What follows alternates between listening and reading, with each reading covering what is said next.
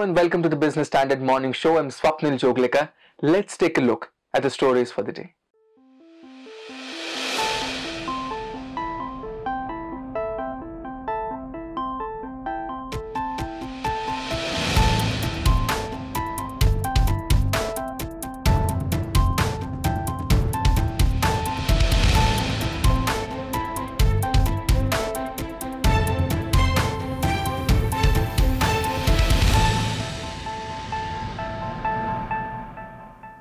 Byju's is in the news again.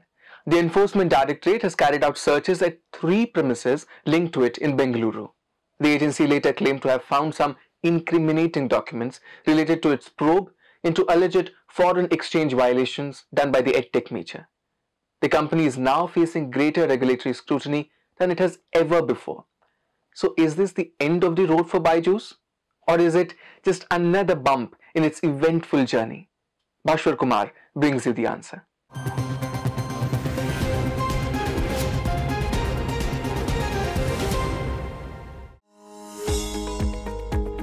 The COVID 19 pandemic gave a fillip to online learning, and Byju's latched onto the opportunity to establish itself as a major online tutoring firm.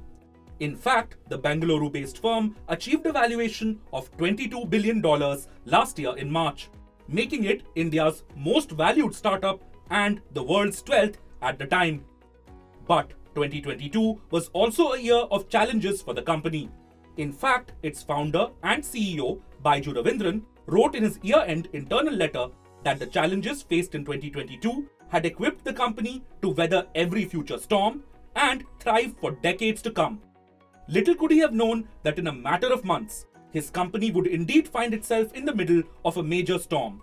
On April 29th this year, the Directorate of Enforcement, or ED, said that it had conducted searches and seizure action at three premises in Bengaluru in the case of Baiju Ravindran and his company, Think and Learn Private Limited, the parent company of Byju's.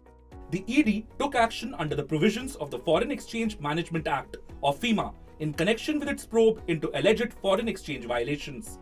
The ED said that various incriminating documents and digital data were seized the ED statement also highlighted the following points. First, the FEMA searches had revealed that the company had received foreign direct investment to the tune of 28,000 crore rupees during the period from 2011 to 2023. Second, it had also remitted 9,754 crore rupees to various foreign jurisdictions during the same period in the name of overseas direct investment. Third, it had booked around 944 crore rupees in the name of advertisement and marketing expenses, including the amount remitted to foreign jurisdictions. Fourth, the company had not prepared its financial statements since the financial year 2020-21 and had not got the accounts audited, which was mandatory. In its statement, the company said that it had been completely transparent with the authorities and was confident that the matter would be resolved in a satisfactory manner. A day after the ED searches, Byju's founder and CEO, Baiju Ravindran, said that Byju's had brought more FDI to India than any other Indian startup at 28,000 crore rupees. He added that Byju's was India's largest employer among startups. So, what's next for Byju's? The path from here appears to be that a complaint will be lodged under Section 16.3 of FEMA regulations, whereby, uh, you know, the allegations, the investigations, what they have done, they would raise allegations against Byju's, uh, possibly on non-compliance of FEMA regulations regarding FDI as well as overseas investment. A show will be issued where uh, will have the ability to respond to the various allegations. Uh, depending upon uh, the adjudication of cause, uh, order will be passed imposing a penalty. The penalty can be huge. In terms of law, it can be up to three times of the forex involved. And how serious is the latest challenge faced by Byju's? Now, uh, although we cannot at this stage say with certainty, but with, with ED being there, there is a possibility that they may be looking at uh, issues of round tripping. If that be the case, uh, then you will find other regulators besides ED stepping in whether it's income tax authorities or GST authorities or corporate affairs ministries, re-looking at uh, the entire structure and the funding of uh, Byju's. Byju's reputation has been taking a beating for a while now. Last year, Byju's came under fire for a more than 17 months delay in filing audited accounts. Earlier this year, Byju's reportedly sought more time from lenders to renegotiate an agreement governing a $1.2 billion loan that was in breach of covenants. One of the terms set by the lenders was that Byju's would hire a chief financial officer, which it did only recently. Adding to its troubles, asset manager BlackRock has reportedly reduced Byju's valuations by about 50% to $11.5 billion. Byju's also posted losses of 4,588 crore rupees in FY21, 19 times more than the preceding year. Last but not least, the latest troubles with the ED have come at a time when Byju's is in the process of raising $700 million from investors. So, what lies at the core of Byju's troubles? The problems that Byju's faces are very serious in the sense that the company has uh, grown too fast too soon without putting in uh, necessary processes in place. So, is this the end of the line for Byju's?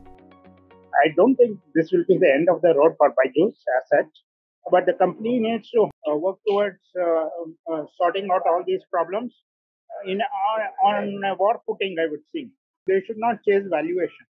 They should chase. I would say they should put in place robust processes, be it sales processes, be it compliance processes, be it uh, people processes. It is not the end of the road for Byju's as long as it can answer all of the ED's questions satisfactorily. But clearly, it also can't be business as usual, and a serious emphasis on laying down the right processes is warranted. Delay on this front could even hamper the fundraising prospects of the larger Indian startup ecosystem, which is already wrestling with an ongoing funding winter that's expected to last a while.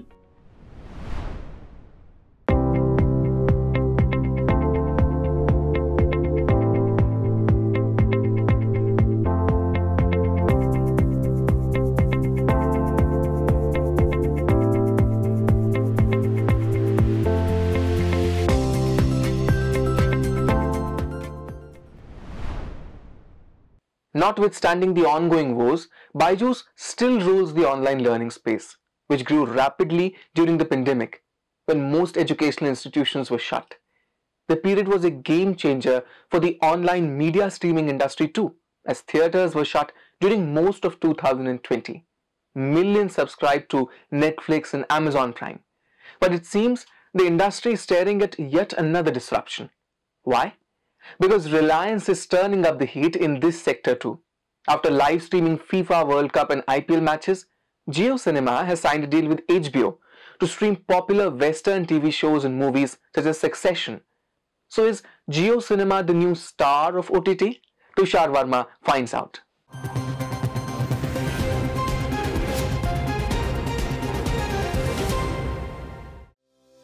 The Indian OTT space is getting riveting by the day. Jio Cinema is set to add more than 100 films and TV shows to expand its content mix. The platform's popularity skyrocketed when it bagged streaming rights for the FIFA 2022 World Cup last year for 450 crore rupees followed by the digital viewing rights of the ongoing season of IPL for a massive 24,000 crore rupees, outbidding both Sony and Disney. More recently, Jio Cinema sealed a deal with US-based television network HBO. The deal includes all content from HBO, its Max originals, and movies and series produced by Warner Brothers Discovery. This will include popular series like Harry Potter and Game of Thrones. Do these developments show that among all OTT platforms, Jio Cinema is perhaps the new star I think if you look at the market right now, uh, Hotstar and Netflix uh, are the leaders uh, in uh, you know AVOD and SVOD market respectively. I think uh, over a period of time, Jio Cinema, the way the kind of content they are showcasing, the way it is trying to go, you know, in terms of only pure play AVOD, they have no SVOD mechanism as of now. Uh, we do foresee that you know they could potentially become the market leader. if you look at the overall video advertising industry in India, I think YouTube is the largest player, which is having a size of close to Uh, almost about a billion dollar of uh, revenue, uh, you know, pure play AVOD. Uh, I think, uh, you know, that's how number two will be displaced by Jio Cinema. In fact, a lot of the ad dollars on IPL front on cricket have already started to flow from, you know, Hotstar to Jio Cinema. According to news sources, Disney Plus Hotstar has around 49 million subscribers in India. Sony Live had 24 million subscribers in the country as of December 2022. Amazon Prime Video around 18 million, and Netflix, the global streaming giant, 7 million. And among these, there is JioCinema, free of cost. Neither for the FIFA World Cup nor for the IPL did people have to spend a dime. As of March 2023, JioCinema had 65 million unique visitors. While it primarily streams sports content, other platforms offer different types of content on demand. With the new HBO deal, JioCinema is now set to charge its subscribers for the content on its platform. However, in an earlier interview with Business Standard, Anil Jayaraj, CEO Sports for Viacom 18 Media, had said that there were no plans for subscription in sports. Let's hear what experts have to say about the escalating competition among video streaming OTT platforms in India. Reliance and Telecom came in and looked at every single player out there and said these are doing a pari passu game. And in comes Reliance with VoLTE, and I think VoLTE actually, you know, really redefined the game. And you'll see this in literally every space that Reliance enters. Disrupt the game and move forward. When it comes to competition, I think competition gets vanquished one channel at a time. And we have seen vacation of this space for a while now. And suddenly you will see some people who have vacated the space, left India uh, because they found it unviable, coming back with and through Jio. And I think that's exactly that's going to happen. You know, Jio is going to become the mass, uh, you know, uh, entity which actually coagulates uh, literally every channel there is. JioCinema, which is part of Mukesh Ambani controlled Reliance Industries, has made several investments buying streaming rights for the FIFA World Cup and IPL editions from 2023 to 27 have been expensive. Encouraged by the viewership for IPL, JioCinema is expecting to generate high revenue through advertisements. This brings the question, is free viewership sustainable? We don't foresee any kind of, uh, you know, any kind of any of these platforms either coming closer to profitability or even break even unless you see some sort of consolidation. Uh, incremental ARPUs is also another way which is going to be very supportive. So in case the market has got reasonably good amount of SVOD revenues or ARPUs, that will you know lead to a you know uh, you know defining the overall profitability and kind of moving closer to break even you know, for the platforms which are there. Uh, as far as breakup is concerned, I think broadly India market is dominated by AVOD. Uh, SVOD uh, is only about 35% uh, of the overall uh, India video OTT market if uh, cinema continues to offer content free and if other platforms also cut ARPUs or you know go pure play uh, you will see a disruption in the form of you know SVOD revenues kind of plateauing at these levels for now in the near term. But going ahead, once ARPUs come back, you will see SVOD revenues also scaling up. What's favoring JioCinema's fortune is the tremendous viewership it has garnered in recent months. Experts believe that in the medium term, JioCinema could turn out to be a competitor to YouTube, the market leader in video streaming. As the Indian OTT players sweat it out to add and retain viewership, it's going to be an interesting space to watch out for. The sugar in your coffee or tea, which you relish while binge watching OTT films, has become dearer of late. It is because uneven weather conditions are choking global supplies and increasing demand for this commodity but some are happy. Rising prices of sugar have sweetened related stocks. So will the scenario remain the same in the coming months as well? Should investors use this opportunity to accumulate sugar stocks in their portfolio? Lovish Adarat brings you a detailed report.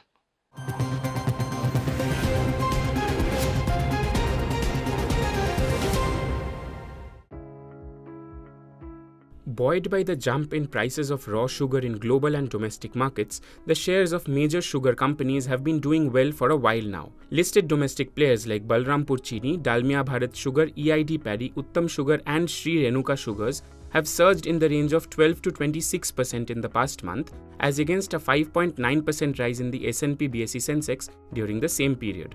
So, what is the trigger behind this upside in sugar stocks? Analysts attribute 0.4% year on year fall in the world's top sugar producing country Brazil's shift to ethanol production due to cut in crude oil output and erratic weather conditions. Sugar stocks also rise temporarily. Now sugar prices are rising. They are up uh, 7% in 3 weeks. Prices are at uh, 11 year highs. The present price rise has been triggered by lower output of sugar. Globally, the lower output has been caused mainly by poor European crop. The recent decision of OPEC Plus to cut crude output also has led to lower sugar output due to diversion to ethanol production. In India, extreme uh, summer and unseasonal rains, particularly in the largest uh, sugar producing state Maharashtra, have also contributed to lower sugar availability.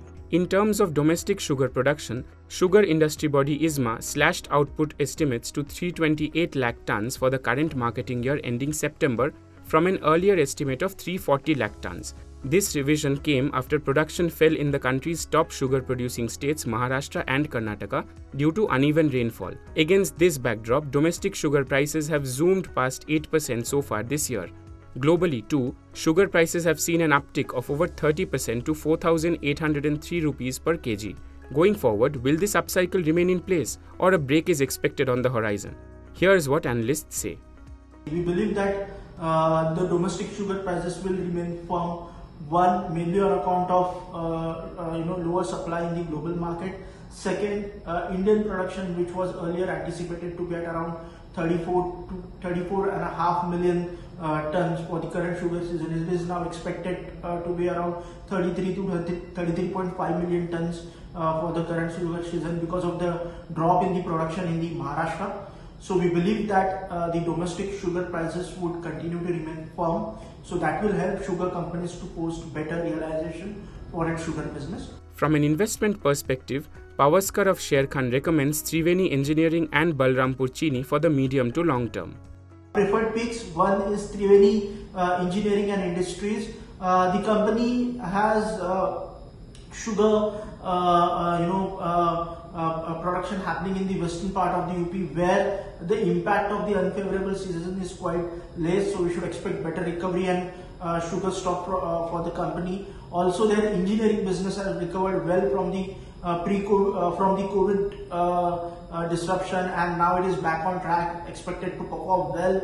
Uh, they are also expanding their distillery capacity and the ethanol division is expected to perform well. So overall, Triveni, Triveni Engineering is expected to do well. Balrampur Chini is one of the top players in this space. It has one of the lean balance sheet and also its uh, ethanol and sugar business is expected to do well in line with what the other sugar companies are likely to post. Overall, analysts expect sugar companies to benefit from rising prices and recommend investors to adopt a stock specific strategy. Meanwhile, on Tuesday, the US Federal Reserve will begin its two day policy meeting. Back home, Q4 earnings will sway the markets.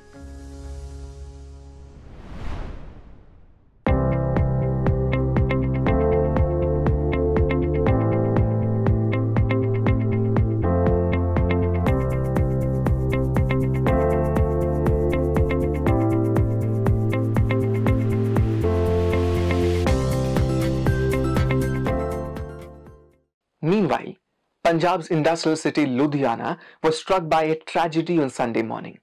In one of its densely populated localities, 11 people died in quick succession after coming in contact with a poisonous gas which, in most likelihood, emanated from manholes dotting a covered gutter. Four others are fighting for their lives in a hospital as we speak. Raghav Agarwal's report tells us more about the incident and also about the likely cause.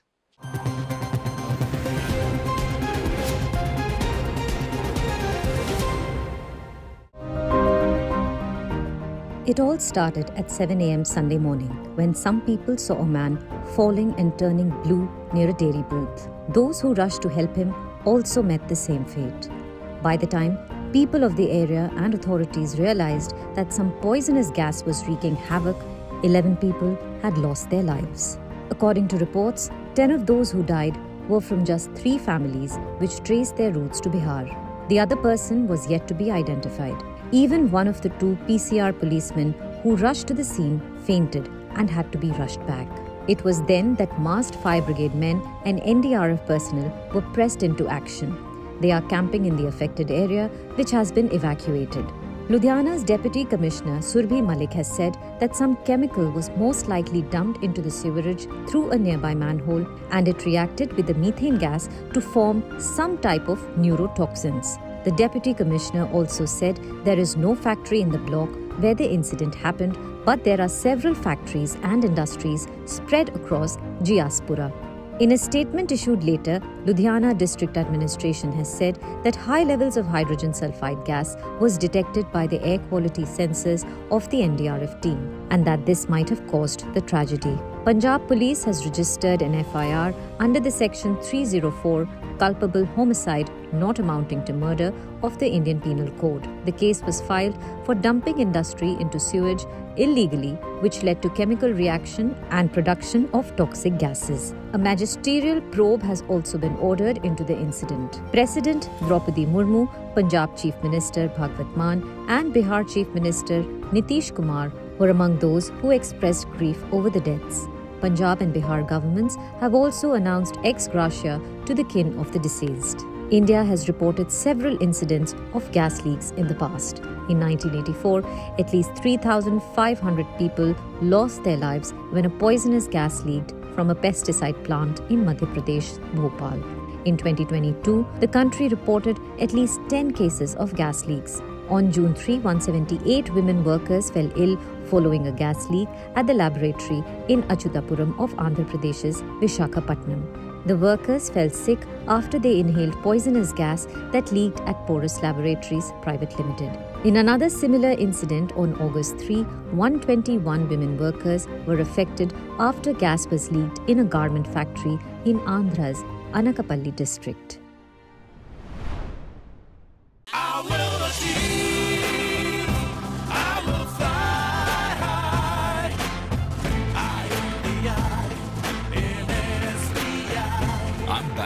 Nation's trusted bank, SBI, the banker to every Indian. Experts say that hydrogen sulfide smells like rotten eggs and it is also called sewer gas.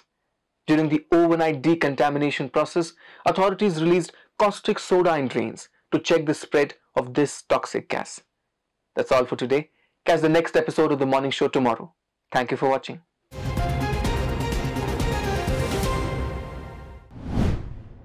If you like this video, share it and subscribe to Business Standard. For more news, views and insights, log on to www.business-standard.com. Do also follow us on YouTube, Twitter, Facebook, Instagram, Telegram and LinkedIn.